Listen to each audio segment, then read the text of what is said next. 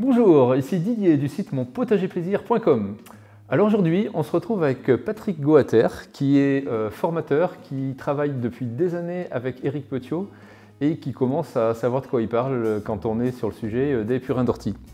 Euh, donc Patrick, je te laisse en deux trois mots expliquer un peu plus voilà, ton parcours rapidement. Et puis après, on se posera deux, trois questions. Donc moi, j'ai commencé il y a maintenant 8 ans. 8 ans à changer de travail, à me mettre à faire donc, de la fabrication d'extraits fermentés. Par contre, j'ai voulu tout de suite en faire quelque chose de pointu. Et donc, je me suis adressé à Eric Petiot, qui a bien voulu me former. Et qui, même, on a eu une, une amitié qui s'est vraiment créée. Et donc, on est allé un peu plus loin. Et de fil en aiguille, j'en suis arrivé à être formateur maintenant professionnel. Donc, pour des groupes de paysans, pour les amener à ce qu'on appelle maintenant la phytothérapie agricole. Ou pour vous, peut-être le soin des plantes par les plantes. Ok, ok. Et donc, bah écoute, je propose qu'on attaque direct dans le vif du sujet. Le sujet sur lequel j'ai le plus de questions euh, sur ma chaîne, euh, c'est tout ce qui tourne autour du purin d'ortie. Euh, et alors d'abord, voilà, ce qui revient le plus souvent, c'est ben, qu'est-ce que, enfin, cette, fameuse recette que j'ai expliquée dans, une vidéo, je vous mets le lien dans le coin ici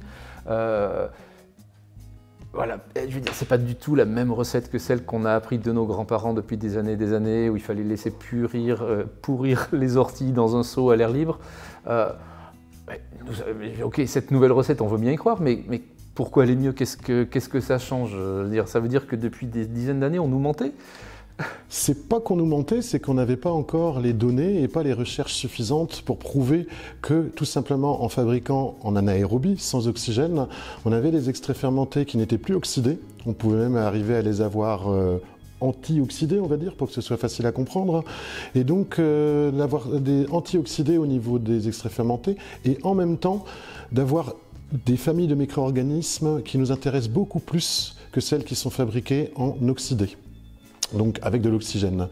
Le gros danger aussi, si vous pulvérisez des extraits fermentés oxydés sur vos plantes, c'est que c'est le domaine des ravageurs. Tous les ravageurs, une grande majorité, que ce soit des ravageurs donc des animaux, des insectes, ou que ce soit des, des maladies, là donc des champignons, ils fonctionnent dans l'oxydé.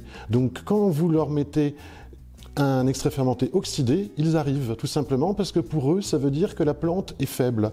Une plante qui va être oxydée, qui va être souvent même en alcalin oxydé, dégage donc des ondes électromagnétiques qui, vont, qui sont perceptibles pour les ravageurs jusqu'à 20 à 30 km de distance. C'est pour ça qu'on va pouvoir avoir des invasions dans, dans un champ, dans le champ d'à côté, rien du tout, tout simplement pour ce changement-là est-ce qu'on est dans l'oxydé ou est-ce qu'on est dans l'antioxydé? Dès que vous êtes dans l'oxydé, donc là, vous allez attirer les ravageurs. C'est pour ça que nos extraits fermentés, selon les méthodes d'Éric Petiot, maintenant, sans air, avec des couvercles flottants ou avec des systèmes que a très bien déjà expliqué Didier, nous permettent d'avoir une qualité vraiment supérieure et de pouvoir gérer les plantes, pas simplement par un apport de nutriments, mais aussi de gérer le milieu qui est plus ou moins propice aux ravageurs, et donc éliminer le milieu qui serait propice aux ravageurs.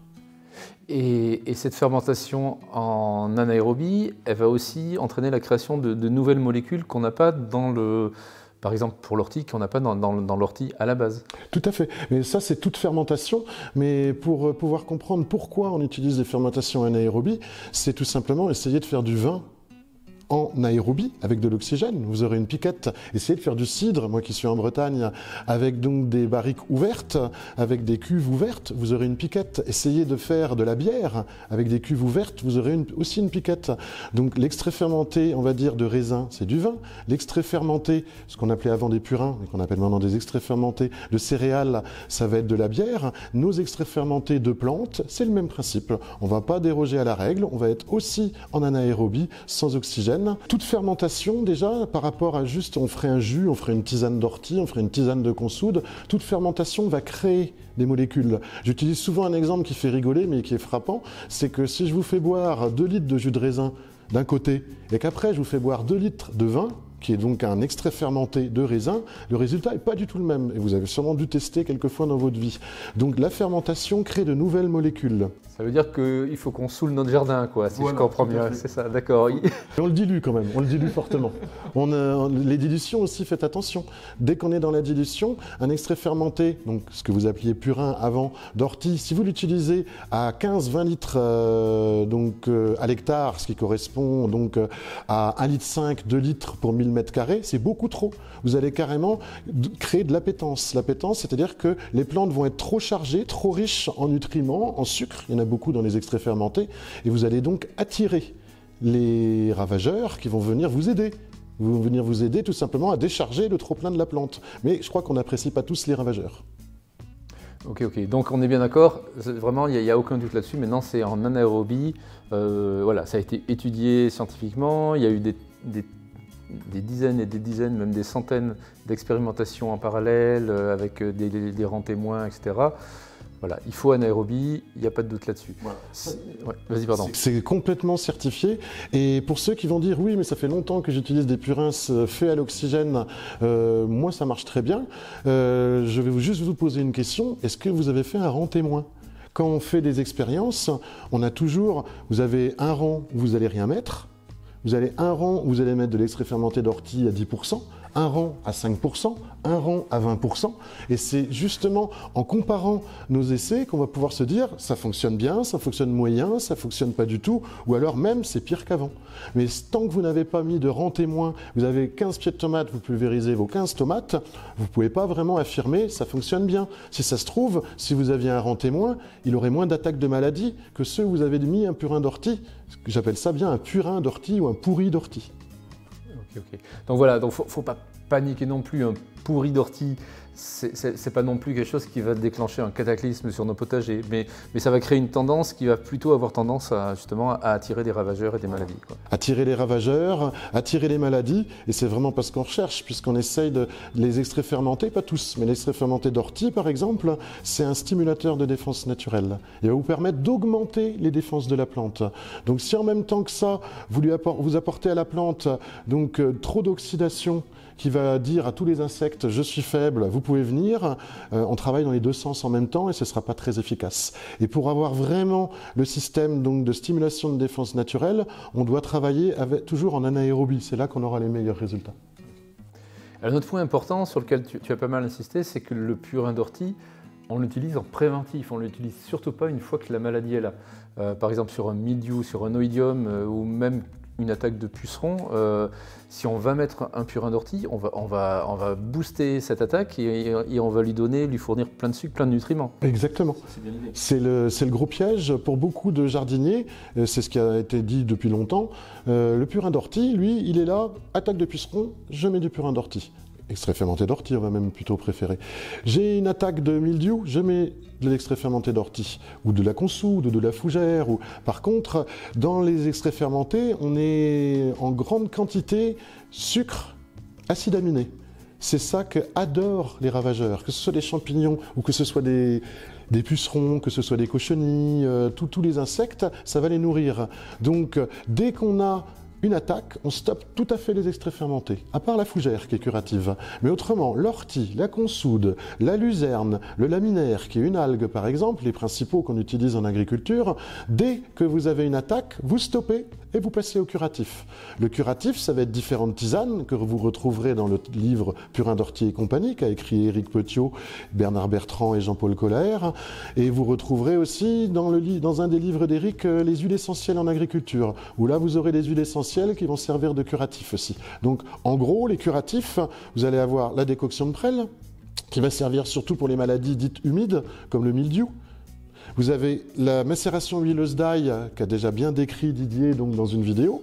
Là, c'est excellent, elle fonctionne sur beaucoup de maladies et beaucoup de ravageurs, mais pas tous. Donc, euh, vous avez aussi des tisanes, certaines tisanes, et là, il faut vous référer au livre, donc Purin d'Ortie et compagnie, et les huiles essentielles. Les huiles essentielles, on s'en servira en dernier recours. C'est puissant, c'est fort, et ça va fatiguer la plante plus que les autres traitements. Donc, euh, huile essentielle, attendez. Normalement, c'est plutôt pour les professionnels. Si vous voulez les utiliser respectez les dosages et lisez bien le livre.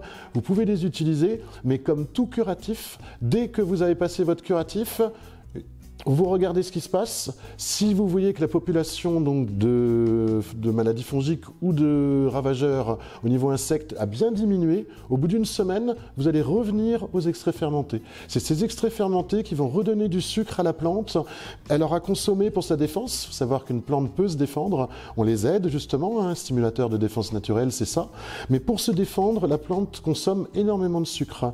Donc, À partir du moment où la plante euh, s'est défendue, vous l'avez aidée avec des tisanes, des huiles essentielles, mais elle a quand même cherché à se défendre. Donc elle a consommé ses sucres. Malheureusement, ces sucres servent aussi à la croissance. Donc une fois qu'elle a consommé ses sucres, elle a sauvé la mise, vous l'avez aidée, mais elle ne peut plus croître. Et c'est donc en donnant là des extraits fermentés orties qu'on soude par exemple, avec un petit peu de miel aussi, on aime bien rajouter du miel, pas beaucoup, 10 hein, grammes pour 1000 mètres carrés. Et là, vous allez rajouter ça et vous allez redonner du sucre et des acides aminés à la plante, ça va la recharger, elle va pouvoir reprendre sa croissance tout de suite, au lieu de mettre des fois un mois, deux mois, suivant les espèces. Voilà, c'est très bien d'être revenu là-dessus parce que c'est vrai que Eric en avait parlé dans, une vidéo où il expliquait les mécanismes naturels de défense des plantes. Pareil, le petit i, euh, hop, juste derrière Patrick. Euh, et, effectivement, c'est bien que tu sois revenu dessus. Il faut, vraiment insister là-dessus. Euh, voilà, la plante, elle se défend toute seule et derrière, voilà, on va l'aider à à, reprendre des forces. Et, sur les huiles essentielles, euh, effectivement, c'est beaucoup plus puissant qu'on pourrait le croire, une huile essentielle. C'est vraiment pas anodin. Euh, comme pour nous les humains, on va pas en prendre non plus euh, comme des malades, on va pas boire ça au goulot. c'est vraiment à utiliser avec beaucoup, beaucoup de prudence. Bah, pour une plante, c'est pareil. L'effet est, est, vraiment puissant, il faut y aller uniquement quand on n'a vraiment pas d'autre choix et puis toujours euh, très prudemment. Et sachez que dès qu'on utilise des tisanes, ah, ça c'est un petit peu, mais les huiles essentielles, on va fatiguer la plante. Les constituants des huiles essentielles vont éliminer, donc si elles sont bien choisies évidemment, vont éliminer les ravageurs, mais par contre ils vont aussi fatiguer la plante. C'est pour ça que plus on mettra d'huile essentielle, plus souvent on en mettra, plus les plantes seront fatiguées, plus elles seront susceptibles de subir d'autres attaques. Par contre, si vous travaillez bien, vous, mettez, vous faites un traitement aux huiles essentielles ou aux tisanes, et qu'une semaine après, à partir du moment où l'attaque a bien diminué, vous revenez aux extraits fermentés, vous redonnez tout ce qu'il faut à la plante, elle peut repartir, et là, c'est pas c'est bon, c'est bon, vous avez gagné. Mais surtout, ne pas oublier, une attaque, on stoppe les extraits fermentés, donc ce que vous appeliez avant les purins. Euh, vous traitez en curatif avec les différentes méthodes qu'on a énoncées, et dès que le curatif a agi, une semaine après, il faut attendre un petit peu, vous retraitez aux extraits fermentés. Donc extrait fermenté avant l'attaque, pendant l'attaque, puis d'extrait fermenté, et après l'attaque, vous recommencez avec les extraits fermentés. Voilà la suite logique. Et ça, c'est pas juste des idées qu'on a trouvées dans un journal ou qu'on a trouvées au comptoir euh, du bar en discutant avec les anciens, qui peuvent avoir des bonnes idées, mais c'est bien de les vérifier. C'est des choses qui ont été vérifiées toutes scientifiquement au départ par Eric, et après qui ont été expérimentées dans les fermes. Donc ces renseignements sont des renseignements professionnels utilisés par les professionnels, même en grande agriculture avec 500 hectares. Et, toujours, euh, on n'insistera jamais assez là-dessus, mettre vraiment l'accent sur le préventif. Là, ce que tu as expliqué, c'est le curatif, mais le préventif, euh, avec, ben, je pense qu'on en parlera dans une autre vidéo, euh, parce qu'il y a encore quelques mots à dire là-dessus, mais vraiment, voilà, il y a quelques outils de base à avoir en préventif, et qui sont vraiment... Qui, se garantissent de, de 90% des attaques. Après, si on anticipe comme il faut, on aura beaucoup moins de problèmes par la suite.